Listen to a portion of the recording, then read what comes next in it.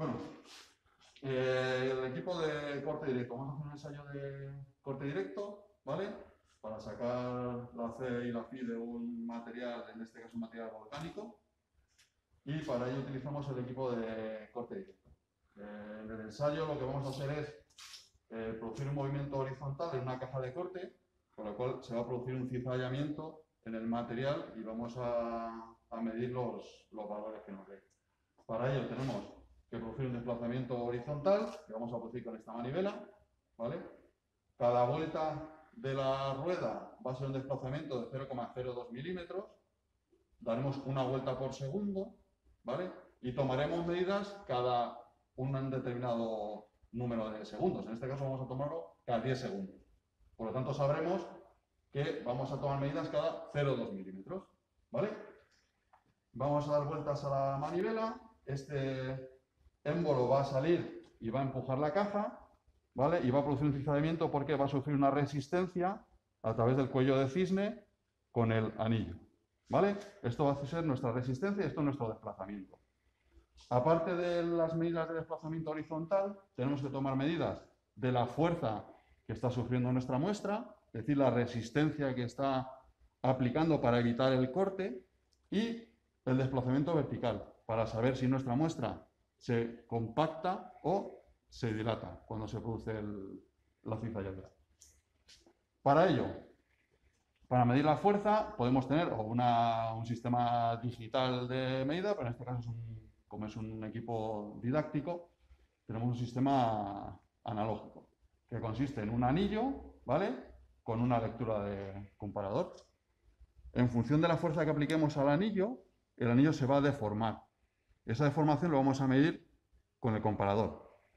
Por tanto, sabiendo la fuerza que necesita el anillo para deformarse y midiendo esa deformación, podemos saber la fuerza que está soportando la, muestra. ¿Vale? Esto por un lado. Vale. Todos los anillos, todos los equipos tienen una constante en función del tamaño del anillo, del material del anillo. Multiplicando el número de lecturas, es decir, la deformación que está sufriendo el anillo por la constante, sabemos la fuerza que estamos aplicando. ¿Vale? Para medir desplazamiento vertical de la muestra, tenemos el yugo apoyado en la muestra y sobre el yugo un comparador, ¿vale? Que nos va a medir en vertical, ¿vale? La deformación que está sufriendo. Y además, para hacer un ensayo de corte directo, no se hace un único ensayo.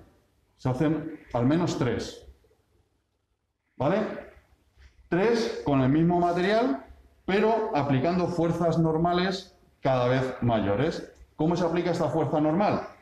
Con un sistema de pesas.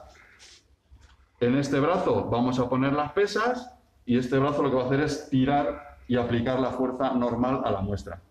Con la fuerza y con el área de la muestra vamos a saber la presión a la que está a la presión a la que estamos realizando el ensayo. En función del número de pesas, cada equipo tiene una configuración y te dice los kilos por centímetro cuadrado que tiene que eh, la caja de corte se compone de dos, de dos partes, ¿vale? Para yo poder montar la muestra en esas dos partes las tengo que solidarizar. Para ello las junto con dos tornillos, que son los que tienen la cabeza roja, se queda la caja rígida, yo puedo montar mi muestra y traerla al carro. Pero a la hora de hacer el corte, esos dos tornillos los tengo que quitar, porque si no lo que estoy haciendo es cortar los tornillos, ¿vale? Entonces, antes de iniciar el corte, los dos tornillos que tienen la cabeza roja, los tengo que soltar, ¿vale? Los extraigo del equipo y ahora ya estarían las dos partes de las cajas sueltas. ¿Qué para si yo hago el corte ahora? Que estoy haciendo una superficie de rozamiento entre las dos partes de la caja, entonces estoy midiendo una fuerza de corte más alta de lo que sería. Para ello, con estos dos tornillos, les doy un cuarto de vuelta y relajo esa vuelta, la recupero. ¿Eso qué me hace?